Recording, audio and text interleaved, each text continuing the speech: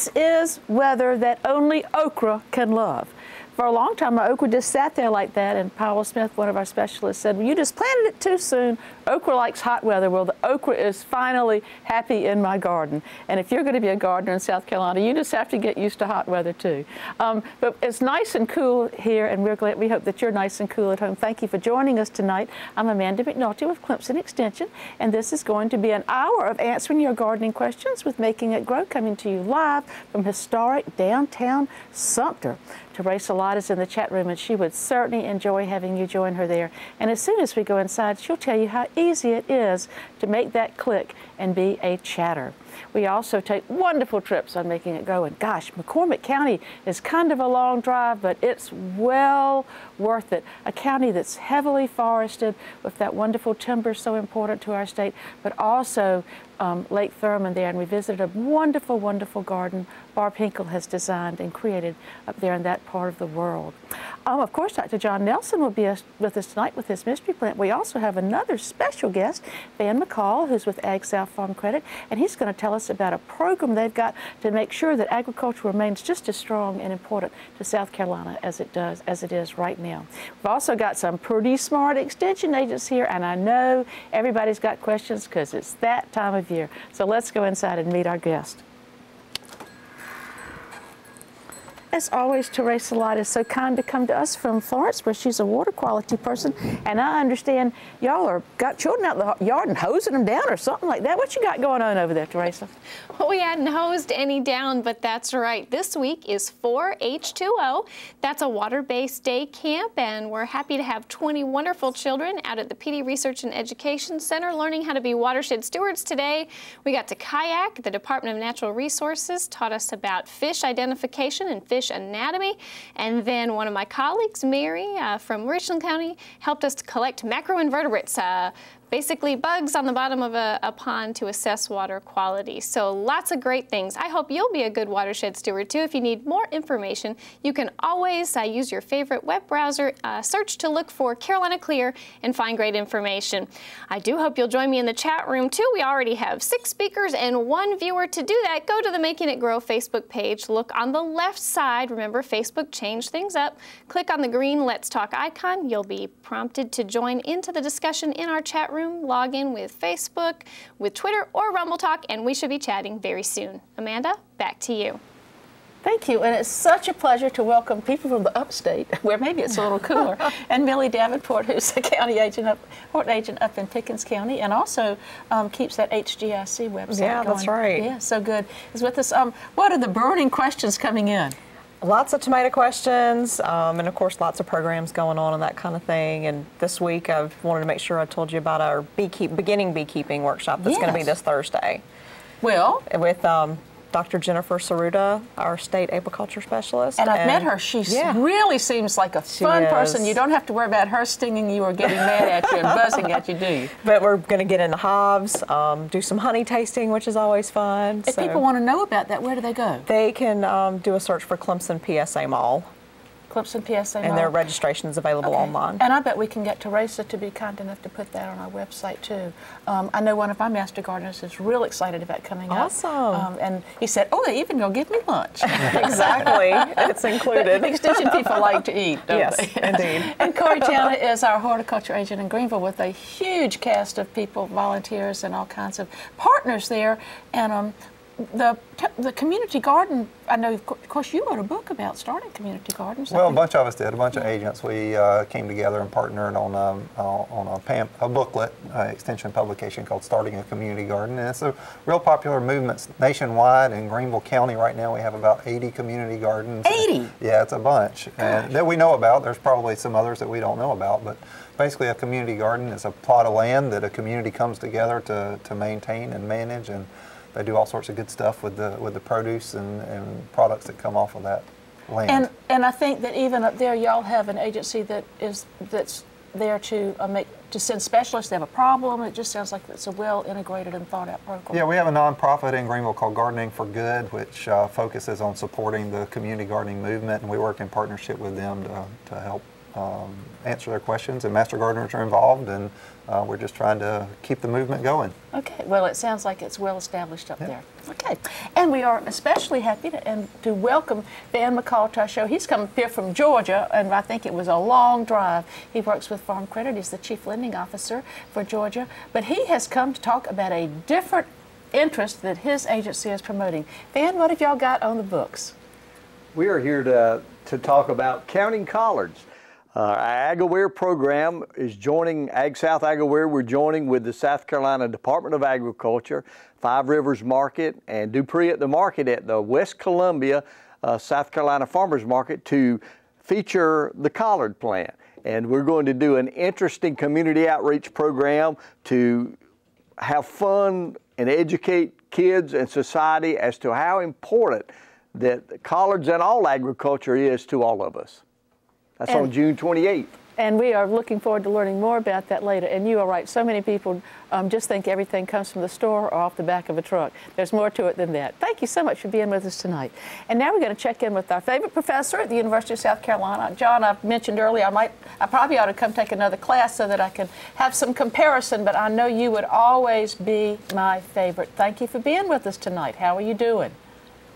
Oh, Amanda, that's so nice of you to say that. But you'd always be welcome back in the class. Thank you. And, And things are going well, Good. actually. um, have you been botanizing or trying to get the herbarium straightened up? Well, I've been doing both, and um, that- that's actually what I'm going to be talking about when we um, go over the mystery plant tonight. I went on a special trip this past Friday to do some aquatic botany. Aha! Well, that ties in perfectly with Carolina Clear and all that because I'm sure we've got to have good water quality to have good plants. John, you do a tremendous service to um, us here at Making It Grow, to our Facebook friends, and to agents and individuals around the state by giving free plant identification. Whew! Thank you so much. And if somebody's got something that's puzzling them, what's the best way to get a picture to you? Well, the best way is just to send a, uh, if you got a, a, uh, an electronic version of your picture, send it along as an email attachment um, to me, and that works. I get plenty of um, uh, messages sent that way to me with an image. Or you could put it in a um, an envelope in a, or put the plant in a baggie with a little hole punched in the baggie. Um, and send it to me in the mail. That would work too. Okay, well, um, so often we do just that, and we thank you for that service. And we'll be back a little bit later to find out about the puzzling mystery plant. Oh boy. Okay. And we have a caller. David is calling us from Manning, right down the road. David, thank you so much for giving us a call tonight. And what's going on in your garden we can help you with?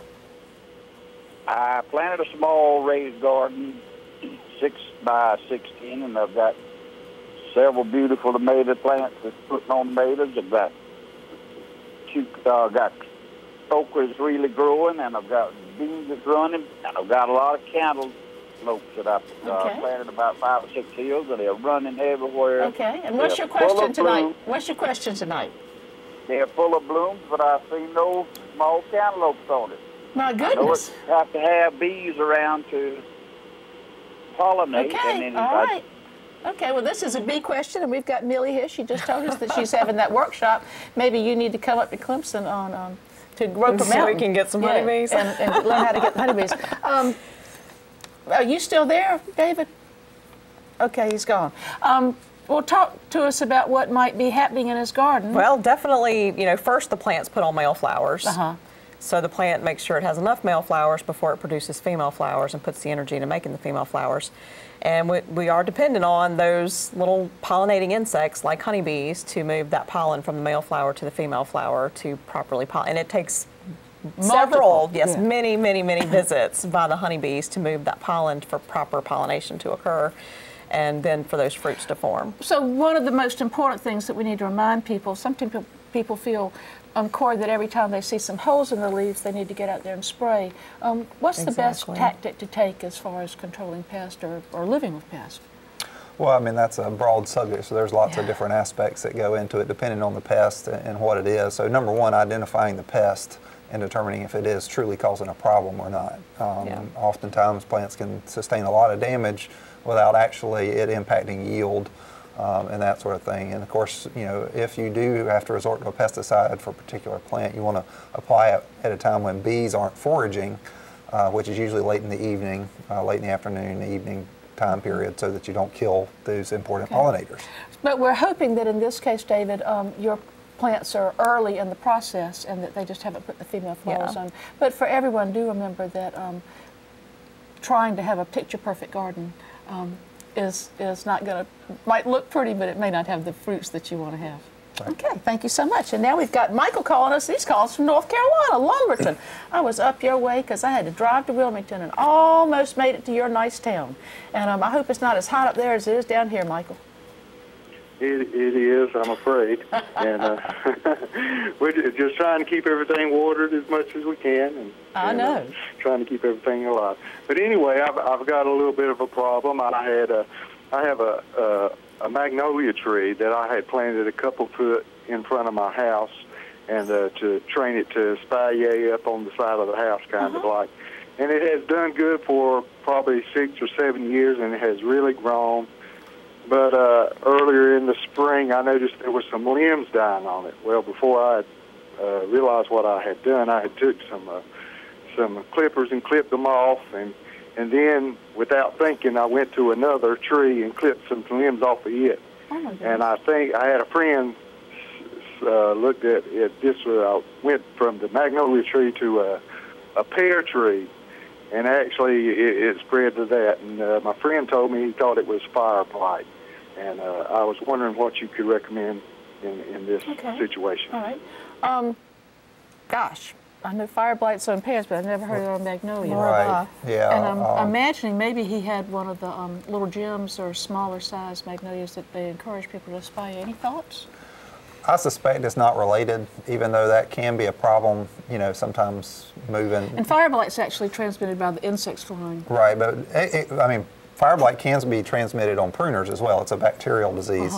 Um, it can be transmitted on uh, pruners, but it's typically things that are related to apples, apples, pears, crab apples that are going to have problems with fire blight. As far as I know, magnolias aren't uh, susceptible to fire blight. He could have had possibly with the winter we had possibly some winter damage, or there could have been some other issue going on with the magnolia, but it probably wasn't fire blight. At Kalmia Gardens, we were looking at their, they had a long row of kind of shaded little gems, and boy, they were having dieback and Mm-hmm. dieback and dieback, and we looked at it, and it turned out to be not the terrible ambrosia beetle that's Right, killing the will- persea, but it looked like sometimes those those magnolias would maybe stressed a little bit, there's a Right. mag- an ambrosia beetle that comes, and that wouldn't be carried over at all, would it? Probably not. Uh, depends on the species of ambrosia beetle. Um, I mean, they'd just be in the yard. Right. The clippers wouldn't Yeah. have to do it. Right, right. Um, Yeah. So um, I hope that you can, um, that if it is an ambrosia beetle, that that's one that's not systemic, I think, in its damage. And um, but you know, it is interesting. We often think, and it's, but it's some. It's just such a big world. There's so many things out there that a lot of Right. times things can happen at the same time, and we like to Yeah, we- tie them together. We think of pests and diseases in, in terms of plant families, and certain plant families Yeah. are susceptible to the same diseases, um, and others aren't. But I, as far as I know, there's nothing really. Okay. there. Okay. All righty. Well, Mike's calling us from Mauldin. Um, we've got some people who had to drive through Mauldin to get down here today, I think. and uh, what's happening in your yard, Mike? Well, Amanda, uh, thanks for your show. I've learned a lot. Appreciate it. and I have a question about, we'll just go to squash. Do they have male and female buds? And it boils down to no bees. Is there another type of insect or something that I might be able to order? I've noticed that the ants on the cucumbers seem to be making it uh, grow fruit. So you are getting was- cucumbers. You are getting cucumbers. yeah, I've got tomatoes, got cucumbers. I know tomatoes do themselves. I have one more question. Uh-huh. Okay. Mr. Sarger's not an arborist on there, but my sister Corey had a really Corey, giant, uh, really giant um, uh, oak tree, and Yes. a big limb broke off of it. And you know, back in the day, everybody took the black stuff and spray painted where they cut the the limbs Yes. and things off. I was wondering if the, if that's still advisable. Okay. All righty.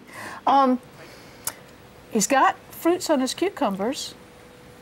There are some types of cucumbers that um, don't, you know, rely on the insects like parthen- parthenocarpic. Yeah. Um, you don't have to worry about it as much. Like you can grow those in a greenhouse, and you don't have to worry about the pollinating insects as much. So I'm not sure what variety of cucumber he has, that might play a part into w- the equation. Um, but I mean, if you get desperate, you can get a little paintbrush early in the morning, send your kids out there and move uh-huh. the pollen around from Teach the them about the flowers. birds and the bees? Exactly. Right. You know, it's an opportunity. That's what I would have my kids doing. But luckily, I've got plenty of bees. How important is it to try to have a, a landscape that has other flowering plants in it to try to that's, keep I, I pollinating? was going to mention there are a lot of other pollinators. I mean, bees are obviously excellent pollinators, but there are a lot of other pollinators. I mean, flies, wasps. I mean, a lot of different things can pollinate Yeah. crops. So having a diversity of flowering plants in your landscape all the Mm-hmm. time to attract those other pollinators in is a good way to go about it if you don't want to hand pollinate. Yeah, Um, definitely. I know, and I don't know if this helps, but I think it does because I see the bees on them. I let my college just go to seed, and uh, it looks like the bees enjoy. I mean, Right. so rather Yeah. than just immediately pull them up, Let them bolt. let them yeah. bolt, uh, Right. things like that. Sometimes lots some good things. strategies. Okay. A lot of beneficial insects. And then like he's that. got a tree that lost a big limb, and he doesn't know if he needs to get up there and do something to it. No wound sealant. Uh, we don't recommend wound sealants or wound paints anymore. Um, that was kind of an old recommendation, but we found that they're better off without it. If it's a very jagged cut and he can reach it, If he should reach it do? or hire an arborist to come in and trim that cut up to where it's not so jagged, if, if that's possible, and not cut into the collar region, Mm-hmm. which is right where that limb joined the main trunk of the tree. Yes. So leave that, leave the collar region intact, but if they can get in, get somebody in there to safely uh, trim that wound just- back it'll heal and let it Yeah. Seal. We say tree seal, they don't heal, but Okay. um, but it's similar. Okay. All right. Well, thank you. Okay. Um, well, gosh, we're going to um, see what these guys know right off the bat. You know, we're just so proud to have them here. John says it's not too hard, so we're going to check out Dr. Todd Nelson and find out about this mystery plant that he had to get out and go and get just for y'all. He said he made a special trip. John, what you got for us? Well, Amanda, as you know, I like to go um, do botany in aquatic places. Yes. And especially these days, I've gotten very interested in looking at the plant life of uh, ponds here in South Carolina. And I was so lucky for, I guess, two reasons this past Friday. Reason one, I was able to get out of the office. And reason two, I was able to go kayaking. Fun. Um, but of course, it was work because I was collecting plants. And um, I was uh, very fortunate to be able to run into some sweet people named uh, Gordon and uh, Hannah Michael, and they allowed us access into their beautiful farm pond. And we found this plant that is just so lovely and just a very, very interesting plant. And uh, this is a plant that, of course, is insectivorous in that it will eat up little critters. Now, it's not like a pitcher plant in that it doesn't have great big leaves that act like uh, traps or funnels, funnel like traps, but it has tiny little bladders on the lower parts of the plant that will um, snap closed when a little uh, bud or a tiny little worm gets close enough to it and suck it inside and then take out all the goodies. And uh, it's like fertilizer for the, uh, the plant. Now, this plant, you see, it's got these beautiful uh, yellow flowers. The flowers don't really have anything to do with um, capturing the insects. That's all below the, um, the water line. This plant is not a floating plant. I know some of you all know what this thing is, but this is not one of the species in that group that floats uh, with those floating um, what do you call them? Uh, sort of a rosette of floating structures at the surface of the water. This plant doesn't do that. It has its little um, modified roots and stems, uh, usually in floating mats. So it's in real boggy um, substrate. It doesn't really float. And it's got a beautiful shade of yellow to the flower. Well, it sure is pretty. And um, looks like a fun place to squish your toes in the mud too. I always like I like the feeling of that. Um, I know you like to go tromping around. Do you ever take your boots off and squish your toes and encounter this little plant, Cory? I, ver- I believe so. He uh, kind of gave it away there, but it's one of the bladderworts, I believe. Has he got it right? Well, of course he does. Woo! Cory's a, a fine botanist. So Okay. this is a, one of our native bladderworts, and um, I think they call some people call this fibrous bladderwort, but um, I guess because it's sort of fibrous looking down below. All righty. It really is a pretty one. Well, that was beautiful, and um, I guess you know that um, Hannah Michael is, um, we think, you know, a member of one of the best organizations in the world because she's one of she's a Clemson extension agent, knows a lot more than people like me, but um, she's smart like these guys we've got here tonight. And and Gordon, of course, is also involved in helping people learn more about farming in a wonderful way with NRCS and is involved with lots of programs. I'm glad you met such nice people, John. I'm glad they got to meet you too, because I think you're you're right up there with the best. And thank you, and we will oh. see you next week. All right. Well, I'll look forward to it. Okay. Bye bye. Okay. Terasa, are people at home tonight and in the chat room, or how do you think the population of South Carolina is behaving? A few people might be home, but I suspect some folks are still out, probably having to water those plants since I know, at least in the Florence area, it has been hot, hot, hot, and we have had about zero rainfall. So my grasp is grass is getting crispy. We've got 10 speakers and six viewers. There's still plenty of time for you to join in the conversation. Interestingly enough, it hasn't really been all that much about gardening. We got on a kick of um, what we like to eat and talking, we just started talking about chicken and dumplings and putting fried okra on food as a crouton. So who knew? You can apparently fry any small vegetable and put it on something and call it a crouton. You just never know what the conversation is going to be like.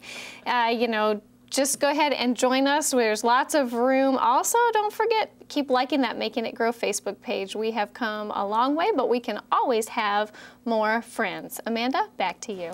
Thank you. And um, remember that if you want to find out about um, Millie's program, um, Terasa's going to put a link there on Facebook if you want to go learn about bees on Thursday. And um, our Facebook page is a great place. I think we've even had something about, you've got, I think, a Master Gardener class coming up in Greenville. Right. And, and I think that we've got some information about that. When is that? Just remind us again. Well, the, the class is actually in the fall, but we're taking applications right now for the for the fall Master Gardener class in Greenville. I'd love to have people to uh, to submit an application Okay. and, and join our great group. Well, they would learn a lot. It'd be fun. It's a great program, isn't it? Yep. Okay. All righty. Um, we've got a caller, um, Charles in Bishopville, right up the road. Charles, thanks for calling us tonight. And how are things up in the great city of Bishopville? Well, thank you very much for taking my call, Amanda. Uh, my problem is with my pear trees. Uh-huh. I have three pear trees, and uh, the leaves seem to turn black and dry up, and then it spreads to that particular branch, and it bends over and uh, begins to uh, blacken. Okay. Um, and uh, it, it looks like it spread from one tree to each of the other two that I have. All right. Um, Well, I think we can give you some help. Um, it's that shepherd's crook we talk about, Yeah, isn't it? And that that's was, our flagging, earlier That was blight. a perfect description of the symptoms of fire blight, Yeah. Uh, which we were talking about earlier, Yeah. which apples, pears, crab apples, and even some of our ornamental pears, the Bradford pears are now susceptible to. So, what do you recommend? At this point, he's pretty much left with pruning them out. Yeah. Um, unfortunately, that bacteria is systemic in the stem, so it will move down. So when, when you're into the lower parts of the stem, and if it reaches the main trunk, it can do quite a lot of damage. So if you, so if it's damaged, if this is like a branch and it's up here, how far back would you come? we usually say about eight inches below the visible Okay. lesion. All right. Um, it can be, you can go further than that if you need to, but at least about eight inches below the where you can actually start to see the symptoms. Is there anything that can be done to prevent that? Yeah, you can get uh, fire blight sprays. Um, it's basically an antibiotic material, Streptomycin. Yeah, streptomycin. And uh, usually those sprays start going on at about the time the blooms open. Okay. And um, again, let me ask if There- at our web, do we have a fact yes, we do that? have actually a home orchard um, spray schedule for you know pears and apples and everything that's on the HGIC website. Okay. So it would give you a guide of when to spray what. Okay. Yes. All right. Thank you. Um, we've got a call from the capital city where they have decided to describe themselves and attract visitors by saying that they are famously hot. And um, Tamika, I hope you're not too terribly hot up there in Columbia tonight, but we'll try to help you with whatever's giving you a problem. Yes, ma'am. Um, I have planted some squash and tomatoes and um, watermelon and a couple, couple of watermelons and cucumbers. Um, my squash, they have big, huge leaves. I mean, just gorgeous leaves, just running, beautiful blooms, everything. They start, the little squash start to come on, and about two days later, they draw up Alrighty. like they're not getting enough water or something. Okay. Um, Poor well, pollination. um, so what do you think? going on? Not properly pollinated. Yeah. So the little, the little immature fruit is there, Yeah. but in order for it to needs to be mature, pollinated. it has to be Yeah. pollinated. Okay. So if you look at the flowers, you know, if you look at the male flowers and the female flowers, behind the female flower, you'll see what looks like a little shape of a fruit, Uh-huh. and that can be a guide to help them know, you know, what's going on. But I would look like we talked about, you know, planting some things that would encourage pollinating insects to come. Mm-hmm. So yeah, that's uh, And sometimes, although she apparently she has little fruits, which is wonderful, so we know that that's happening. But sometimes, do people, some if they get heavy-handed with the nitrogen, can that be a problem Yeah, too? over, over fertilization's enough, and it comes to mind. And even with those female flowers that have the little ovaries on there, sometimes maybe if there's too much fertilization, Really? they may abort those. Oh. Or there could be something else going on. I still think this one's probably related to mm-hmm. pollination. Um, but But too just, much Just be careful with the fertilization and not, not to over fertilize the. Okay. Because she was saying the leaves were so big Right. and Yeah. beautiful and green, which made it sound like maybe she'd put a good bit of fertilizer Right, on them. right. Oh, there's a lot to A lot be. to do, a lot to think a lot about. to think about. Yeah. Sometimes it's better to think about something than to do it. It sounds like. no, you still got to try. yeah, that's right. Well, I meant to sometimes sit on your hand and not do. You know, Oh, right, not- yeah. No more fertilizer. Okay. Um, well, we um, we are so excited, as we said earlier, to have um, Van McCall with us, and he's going to tell us about a really exciting event at the farmers market. I'm going to go learn about that, and while I'm making my way over there, we're going to check in with Terasa. Terasa.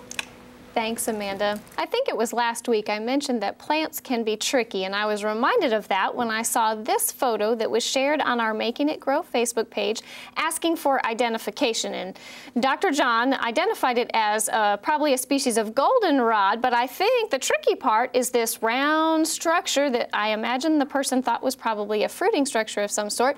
Turns out that's actually a gall, and you see probably galls all over the place. They are an abnormal swelling, uh, and that's in the plant tissues as a response to some kind of stressor. It might be bacteria, it might be a fungus. Usually, uh, most of them are caused by insects and mites. So, you know, just be observant. You never know what you're going to find, and uh, you can always be creative. Dr. John suggested if you let these dry out, you might even use them as drumsticks. See, you just never know what you might learn on making it grow. Let's check in with Amanda and her guest at the side counter. Well, thank you, Terasa. Um, we're going to give a little drum roll because we're so happy to have Van McCall. And Van is the Chief Lending Officer with AgSouth, and but he's here for another purpose. But just for, in case people don't know, what exactly is AgSouth? Well, man, AgSouth is part of the nationwide farm credit system that we're about to celebrate our 100th birthday. Just like we are. Yes, we, we have been around for a long time, and our history has been completely agricultural lending. That's what we do. Okay. And the AgAware program is all about the future. Uh, the, the determining factor of where we go is how we transfer our knowledge to the next generation. And that's what AgAware is all about. The, the system has a mission to prepare the next generation. AgSouth has a vision through the AgAware program to translate that in our footprint area, which is 59 counties in Georgia, 34 in South Carolina. And there are three phases of this, so let's talk about them as they occur. Tell me what the first one is. Okay. The first phase in is our workshops. Uh, we teach a, a very in-depth, comprehensive financial ag business workshop. Uh, it's a full day on a Saturday. We do four of them, two in South Carolina, two in Georgia, and it's risk management, balance sheets, income statements, uh, the, the full technology, uh, marketing, The not fun part, not the growing, but the part that's hard for a lot of people. But the thing that we do, and a lot of people is amazed when they come, is we make these classes very interesting.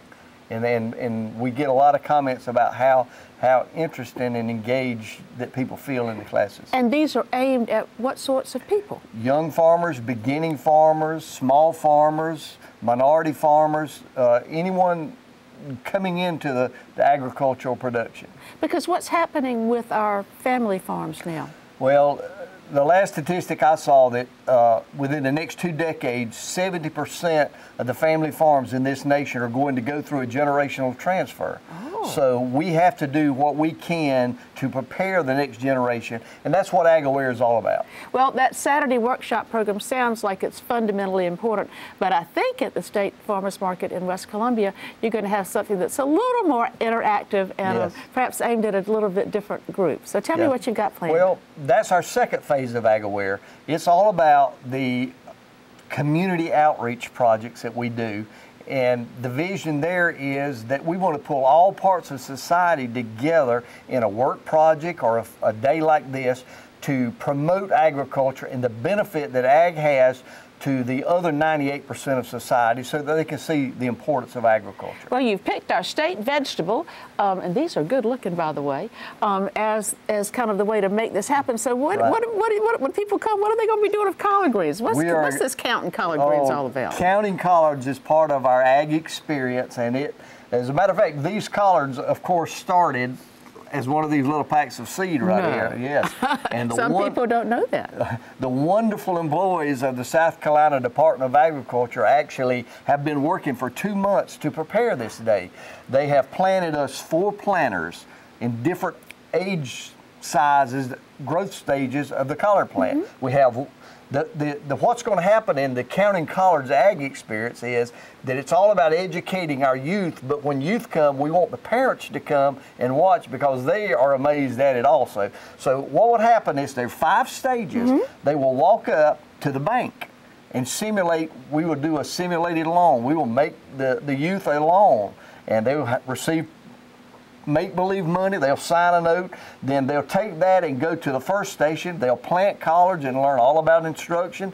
Then they'll go to the intermediate stage and learn about the nurturing and care of that crop. And then they'll go to the mature stage, learn about harvesting, and from there, processing, packaging, marketing. They'll eventually sell their crop, come back to the bank, pay off their operating loan, and they'll learn a term interest. They'll learn what interest is, and we teach them what profit is because what they have left, they take that profit. And then they go to the, the really fun part. We have all these games that they can redeem that profit to play games. Isn't that fun? We have ladder toss, we have frisbee toss, we have a giant water balloon launcher. so they're going to have a great day, and uh, it, it's, it's going to be very exciting. And what time is this? It's going to start at 10 o'clock uh, through through noon. We're going to have a short dedication service at 10:30 where AgSouth Farm Credit AgAware program is dedicating a traditional South Carolina joggling bench. Come on, let's do it. Yes, come on. we better not fall off, we? So, uh, and, and there's a, a reason for choosing that because historically the tradition is it brought That's right. couples You together. end up kind yes, of bumping- yeah. yeah, yeah, And the yeah, old yeah. southern phrase Yeah, courting courting, oil, yeah, you know. yeah. So we want to bring though all parts Yes. Of society together to understand the value The of agriculture. consumers, the producers, and for people to really understand where food comes Yes. from and what's involved. But then there's a third prong Third of part. this, so tell us what the third part please. is our Speakers Bureau, where myself and other AgSouth employees, and let me say this, we have such wonderful employees, and they are the ones that are making this day happen. I, I've just got to give them that. They work so hard. But we have some other employees that work with us, and we go to any event we can uh, if they need a speaker to talk about the future of agriculture. All right. That's what we're there for. So we can call and make arrangements for y'all to come. And so this first event, though, that we're talking about um, is going to be on the 28th. Yes. At the West Columbia State Farmers Market. That's correct. Um, and I think there are a lot of other activities planned around it. And we're going to come back at the end and let you tell us exactly where we can go to find out all the information. Very good. All right, it's been fun learning about this, and I'm and I'm just curious now about where these collard greens are going at the end of the show. Well, they may be on someone's table. I mean, it is wonderful to have um, have a representative here from AgSouth, and we appreciate that, and we appreciate what South Carolina Department of Agriculture does, and um, so thank you for being with us. Terasa, um, tell me what's happening over there with you and your chatters. Oh, it's busy, busy, busy. And one of our chatters shared a great photo today to, and said, look for this in your neighborhood markets. So at the side counter, we heard about investing in agriculture, and you can do that by supporting the South Carolina Department of Agriculture's Certified South Carolina Grown. And there's Certified South Carolina products, Certified South Carolina Grown, and even Fresh on the Market, where uh, restaurants have to have at least 25% of the things on the menu, either grown or products from South Carolina. You can find all the information about that program on the South Carolina Department of Agriculture's website. And Amanda, I hear that there's even a certified South Carolina artist. Is that true? there is. Um, as a matter of fact, I have um, some artists in my house, and I'm getting ready to get them certified because they certainly seem like South Carolina people to me. Um, but that is a, um, you know, this is such a great program for us to highlight the wonderful things that happen in South Carolina. We've got some, uh, so the South Carolina Department of South Carolina Art Department. Um, Arts Commission has come up with this great way to um, remind us that we should always be joyful and support everything that is South Carolina. We want to keep our economy strong. Um, we've got a caller. Mary's calling us from Columbia. Mary, we thank you for calling us tonight. And how can we help you? Well, I'm not a, a gardener, but I'm dying to have some fresh tomatoes. Uh-huh. So I planted two tomato plants, and they're just growing just beautifully and putting out blooms and one of them, all of a sudden, the plant is beginning to wilt. Oh. The other one looks fine, oh. um, and I've got tomatoes on that one plant that's wilting. So I'm not sure if there's something underneath that. Uh, okay. Uh, Can you just? Why would I? Is there why any, would one wilt? Can, is there a little bit anything more visually that you've noticed about it, or just just a, and how quickly did it happen? No, not a thing. Okay. All righty. Yeah. Oh. It's possible she might have bacterial wilt going on. Yeah, there's a there's a couple wilt diseases yeah. that are active now. Bacterial wilt is one, and um, southern wilt, southern blight. Is that right? Yeah. yeah. Uh, sclerotium yeah. is another wilt that's uh, active right now. How about so tomato wilts? Tomato spotted, tomato spotted wilt could be yeah. a, a, virus. Mm-hmm. That's a possibility. But if it's just green and it's just yeah, wilting, it's, it's, probably just a bacterial wilt. She didn't really, yeah. Yeah. yeah. She didn't um, notice anything else. If it's bacterial else. wilt, though, what's the diagnostic? Can't you? Yeah, you can cut the bottom of the stem and put it like in a little glass of water, uh-huh. clear glass, and you would see that stream of ooze. but know, it doesn't. Does it really make much difference? Are most of the wilts fatal? Typically, if the whole plant's if the whole plant's wilted, that plant's probably lost, and probably the best thing she can do right now, since she has other tomato plants, is to pull it out, stems, leaves, roots, and the attached soil and all, put it in a plastic bag right there in her garden spot, and go ahead and put it in the garbage and hope that in it the doesn't. household garbage, yeah. Right, and hope it doesn't spread to the okay. uh, neighboring plants. Um, and with the tomato spotted wilt virus, I know there are varieties, I believe, that you can put out. Is it too late? Do you think she could plant another one? Yeah, sure. Oh, yeah. Um, yeah, you can you can plant a late crop of tomatoes until mid July in most of South Carolina. Um, so she could look for something that's wilt resistant. Okay, mm-hmm. All right. And again, um, I think I just whenever somebody calls with a problem, I just go to, to HGIC, Clemson HGIC, um, because it is just such a wealth of information, and, and it's helped me with so many personal problems and problems also that clients when they call at the office. Well, we went someplace that just wasn't a problem at all, except it was a little bit far away to drive, but it was so very beautiful. The drive is beautiful. Um, McCormick County is a beautiful county, and it was wonderful to go there and meet a relatively um, new resident there who has made a beautiful footprint on her little corner of McCormick County.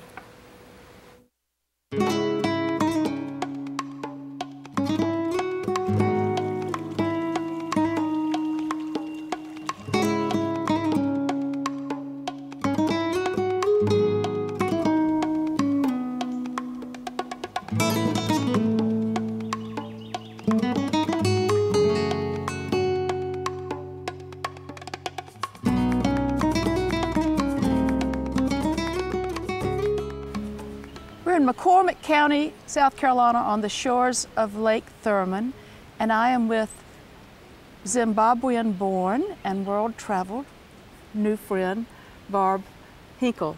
Barb, how did you design this landscape to suit your family's needs? The landscape, I started with an easy to maintain garden, but being who I am, I get carried away. And I wanted to have a Mediterranean look because we lived in Italy and just loved the whole environment, the buildings and the gardens and the plants always looked so luxuriant and I kept having that image in my mind to try and emulate that. when you came here, you said you took one look at the soil and said, "Oh my goodness, I've got to do something before I put plants in the ground." So what did you do? That is very true. I enriched it. I had a uh, truckload of topsoil brought in, and particularly in my courtyard, I really nourished the soil with the topsoil and mulch. And over the years, just kept adding it. And my secret weapon are worms. I go down to the fishing store and buy a little packet of fish, uh, fishing worms, and we put them in the ground, my granddaughters and I, and they multiply, which is wonderful. And as I look around, I see so many treasures. Of course, you are very fortunate here. You have the cooler temperatures that let you have peonies, which are so Yes. lovely. And yet you also have agaves, and that is a very unusual one. Tell me about it. I don't know what to tell you other than I love it. It's just a beautiful, exciting plant. It's quite vicious with its thorns. And I bought it a couple of years ago. It was rather expensive, so I only bought one. And it's created all these little pups, which have been promised to friends. Oh well, don't don't give them all away. They certainly help set the scene. And as we go down, we see things that remind us of the Italian landscape. We see gravel used and a small amount of turf. And then as we get towards the house, oh, what joyful things! The vertical accents are so much fun. So tell me about those. I started off with these uh, skyrocket uh, junipers, and they fit perfectly into the landscape because they don't get too tall, they don't get too wide. And then I thought I really need a Mediterranean cypress because this is a Mediterranean style house. And that's where I bought uh, several of the Mediterranean cypress. Unfortunately, this winter the deer enjoyed them as well. And I shall fire my dog, who's supposed to keep the deer at bay. And then towards the house, you, you've pruned things up to give us that umbrella look, and you've used a lot of vines. And you said that um, from your kitchen window, often you have a very beautiful view. I do. I, I enjoy it. And the vines that are growing over the kitchen window and the front door and over the arbor are the Lady Banks rose, the yellow. And it's supposed to have 30 to 60,000 blooms on it. And I can believe it. It was just stunning this And- spring. And even though that one's over, in a corner of the house is a remarkable bloomer. Tell me about that rose. This is a red, I call it a Lady Banks, but it's not, as I was corrected at the nursery. But it does the same climbing aspect as the Lady Banks. I like it better than the yellow because it's bloomed all last year. You told me it just goes on. It just goes on and on. on And and behind me, I have a, uh trellis that I've started to grow it up, and it's doing beautifully. I put it in pots, and I just love this rose. I love it too. It's gorgeous. And I think that um, in the afternoons or the evening when it's time to have a glass of Italian wine, you have created an outdoor dining room. Tell me about that. I have. It first started off with the uh, breezeway and growing grapes up and over the uh, arbor and that worked perfectly. That was the look i was trying to get was the the vines with the grapes dripping down and the coolness and the shade. And we eat out every night weather permitting whether it's on the uh, breezeway or on the back deck or in the courtyard because now it's just my husband and I. We enjoy sitting at that little table with the uh, twinkling lights and, as you said, enjoying a good glass of Italian wine. And on that back deck, um, you have eating spaces there. You have beautiful, um, wonderfully blooming, colorful plants, and you get to look down on another little area that you've created a garden in. Yeah. Um, another small amount of grass surrounded by more plants. Tell me how that area came into being. Well, the water features. I love to hear the sound of running water, and that's where doing a water feature at the back and also in my courtyard was a necessity, simply to add to the ambiance of the moment. And ponds and water features are hard work, but it's worth it. And then, of course, you've left a wonderful natural area, partially because the Corps controls some of that, but Correct. also you said you love the transition into the woodlands. Yes. And this piece of property has all these little gullies and interesting trees. It's just, it spoke to me. When we came and looked at the property, it's, it's just a magical piece of property. Well, Barb, I think that you also listened very carefully and heard nature speak to you. Thank you. And created a wonderful place for your family and for the natural elements around you. Thank you so much for letting us be here today. Thank you for coming. It was my pleasure.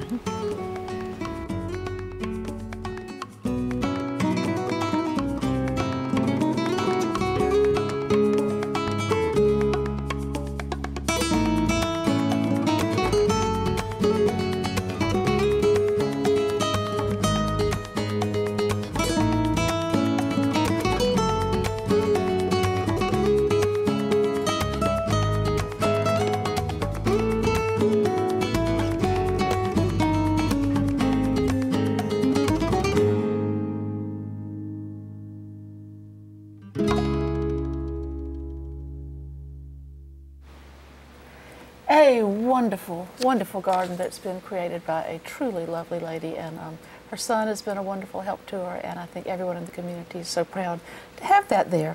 Um, Cory, I have some tomatoes on my hat that fortunately came through. I think everybody should plant a cherry tomato. Are they, aren't they always right. the easy ones? Very good. I'm Um, jealous of your okra too. I don't have any yet. Just- well, don't worry, we'll have up with this hot weather. But you've got a tomato that's having a little problem, so tell us what you've got there. Yeah, I was out early this morning in my garden in my little tomato plot and um, saw some of this early blight going on. Yeah, that's got a Um, good, that looks good, Hold just yeah. like that.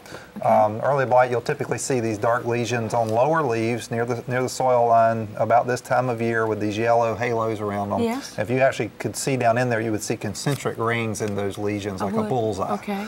Um, and the way I like to manage it is when I see these starting, I'd like to just pluck them off. Oh, all right. Um, because what happens is it's mostly a soil-borne disease, and it'll splash from the soil up onto the lower Oh, okay. leaves.